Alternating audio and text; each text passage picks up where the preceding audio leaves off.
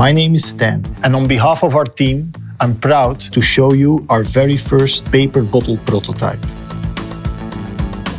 With this project that focuses on creating a 100% paper bottle, we are exploring a promising future packaging solution. I think that a paper bottle can play an important role alongside other packaging solutions to achieve our vision of a world without waste.